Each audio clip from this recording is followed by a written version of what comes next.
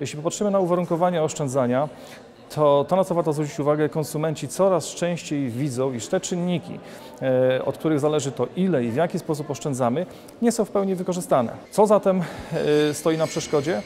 Otóż e, na przeszkodzie stoi między innymi e, cała mechanika związana z oszczędzaniem.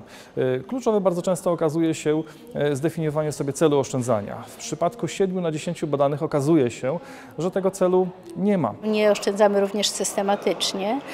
I, I w związku z tym również wykorzystanie potem tych oszczędności może być no nie, nie na taki cel, jak dług, moglibyśmy to w sposób racjonalnie wydać, na przykład na cele długofalowe, bo powinniśmy oszczędzać głównie z perspektywą nie tylko m, zabezpieczenia się przed, e, przed e, nadzwyczajnymi zmianami dochodów, ale również długofalowo z myślą o, o zarówno e, emeryturze, jak i również o inwestycjach w edukację czy w zdrowie. Jeśli chodzi o oszczędzanie, to Polacy mają problem trochę z dyscypliną, bo myślę, że coraz więcej Polaków stać jest na oszczędzanie, a powiedziałbym może inaczej, że nie stać się z nas na nieoszczędzanie i te możliwości się pojawiają, my je widzimy, tych pieniędzy jest coraz więcej, natomiast y, musimy sobie wyrobić pewne zachowania. Y, Czyli regularnie, nawet niewielkie kwoty, są produkty w bankach, które umożliwiają odkładanie pieniędzy już nawet od 100 zł, więc ciężko znaleźć wymówkę, że nas na to nie stać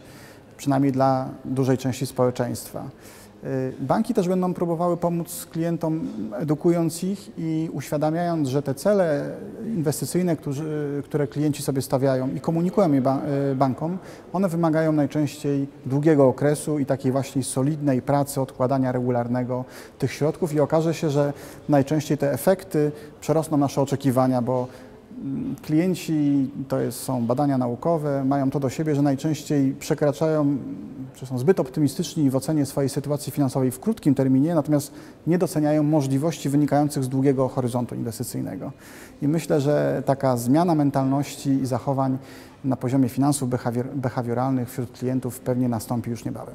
PKO Bank Polski. Dzień dobry.